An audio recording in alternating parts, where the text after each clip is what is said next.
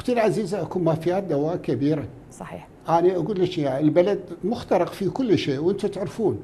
يعني أجيب لك مثال لا يمكن أن نطلب أن تكون الصيدلة والأدوية أفضل ما موجود بالعالم في بلد كل العوامل المساعدة ما موجودة. يعني تثبيت وتد في رمال متحركة لا يمكن. بس هذا لا يعني إحنا متوقفين عن هذا الشيء. لا بالعكس. بدينا خطوات كلش هوايه في تفتيش الصيدليات والبحث عن المواد خلينا نسميها اللي جاية بشكل غير أصولي الأدوية الإكسباير.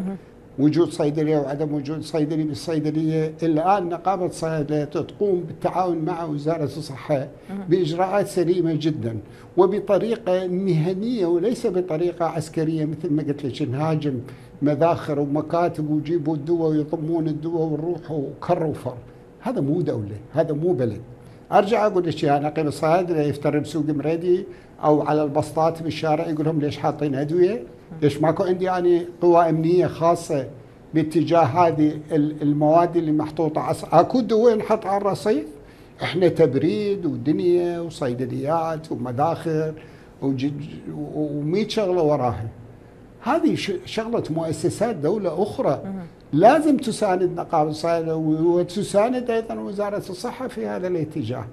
أرجع أقول لك إياه. أنا ما ذب اللوم على وزارة الصحة عندما ما عندها فلوس أن تستورد أدوية للمواطن العراقي، أدوية السرطانيه والمزمنة وغيرها. هاي تجيبها لازم تحطها بالعيادات الشعبية. وكانوا يأخذوها المواطنين وتذكرين البطاقه الصحيه وكان عندنا برنامج لوقاية الأطفال والبيوت ويفترون وقبل ما يدخل الروضة وكل هذا الكلام. شو القضية؟ يعني تغير نظام سياسي. بس بس هذه الأشياء إحنا الفنيين موجودين وإحنا اللي نقوم بها وبالتالي يجب العمل والرجوع مو الرجوع هي هذا الواقع مالتنا. بالثمانينات أحسن نظام صحي بالعالم العربي كان بالعراق وأحسن نظام تعليمي. وذولا بلدنا وإحنا وناسنا بهذا الاتجاه. نعم. مشكلة مو يمنا مشكلة اجهزه الدولة حقيقة ما أعرف شنو جاي يسوي. أما تقولي لي شنو سوينا جاي نقدم دراسات و... ونكتب ونحكي ونسولف. بس الاذن الإذن صماء. ودا أقول لك إذا أحسب دراسة الصيدلة ووجودي بالوظيفة وبالخدمة العامة قاربت 60 سنة. نعم. شنو اللي بعد أقدر أسويه وباقي بهذا الوطن؟